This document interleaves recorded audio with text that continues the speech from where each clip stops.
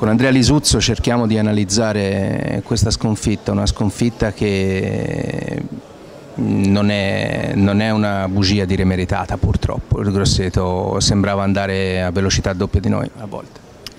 No, il primo tempo, tempo l'abbiamo regalato, nel senso che non abbiamo fatto come le altre volte, che al contrario la prima parte di gara facevamo bene, invece poi magari nel secondo tempo come ad Ascoli siamo calati, invece oggi ci è capitato il contrario.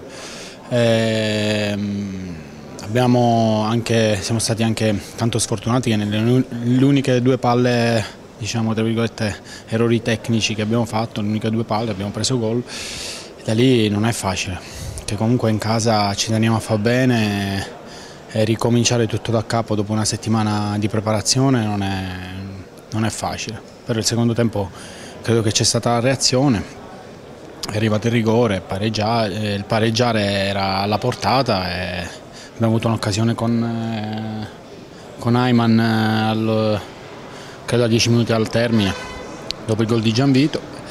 Questa è la partita, nel senso che mm, questa è una sconfitta sicuramente meritata, sicuramente in un momento non felice per noi, ci tenevamo a fare il risultato soprattutto per sia per la classifica ma soprattutto per i tifosi che in casa eh, ci hanno sempre sostenuto in maniera positiva, quindi era d'obbligo oggi fare un risultato positivo.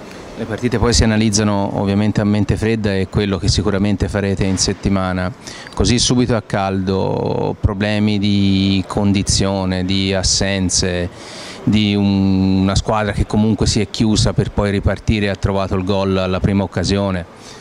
Che cosa, che cosa vedi come, come, causa scatenante di questa, di questa prestazione negativa? Io non sono, cioè non sono, la persona giusta per analizzare sotto il punto di vista tattico eh, la partita perché comunque ci sono gli allenatori e c'è tutto lo staff che, che, lavora durante la settimana quindi eh, è una risposta che potrebbero dare loro. Sicuramente loro Sicuramente il Grosseto oggi è venuto qui eh, e tutti si nascondono dietro il Pisa, che il Pisa è la squadra più forte. Eh, fatto sta che il Grosseto ha una buona, una buona, un buon organico, ha fatto i giocatori che hanno fatto fino all'anno scorso la Serie B e purtroppo il campionato è tutto così. Si nascondono tutti dietro il Pisa e in verità ci sono squadre che, eh, forti come Pisa. Grazie.